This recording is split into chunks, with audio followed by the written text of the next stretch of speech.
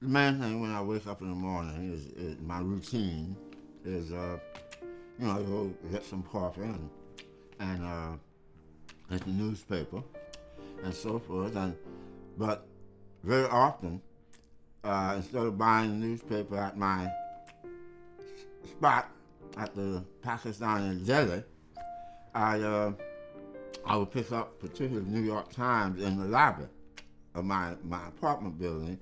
because a lot of people have subscribed and uh, no longer live here, but the papers are still delivered, and they're left day by day on on on, the uh, uh, uh, the shelf in the, in the lobby, and so uh, they're free. It's free, and so I just pick up, uh, you know, what what, what I know is there for free, and and you know that that that that uh, that saved me uh, two fifty, particularly with the New York Times because the two papers that